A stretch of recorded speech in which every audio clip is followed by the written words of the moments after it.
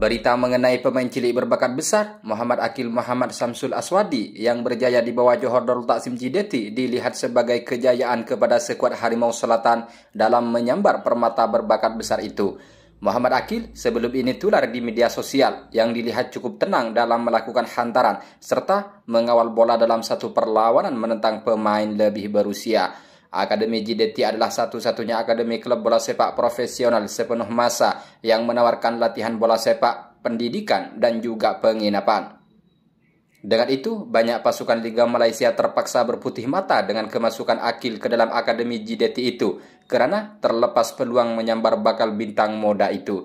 Bagaimanapun, di sebalik perpindahan Akil ke JDT itu, salah seorang penyokong Hot Ice di Facebook mendedahkan pihak pengurusan Terengganu terlebih dahulu pernah berjumpa dengan ahli keluarga Akil.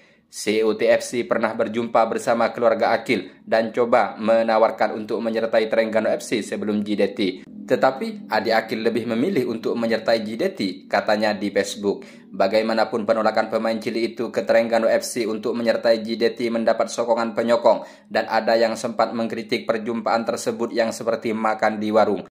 Makan pun macam dekat warung, mana nak dia join Terengganu FC, kata Heri Sira. Kalau saja jadi adik Akil ini pun memang saya pilih JDT, jelas Muhammad Faisal. Keluarga adik Akil dan seluruh rakyat Malaysia tahu mana sebenarnya Intan dan Kaca, mana satu yang lebih menjamin masa depan, serta berpeluang menyinar di Asia, ujar Armara Salke.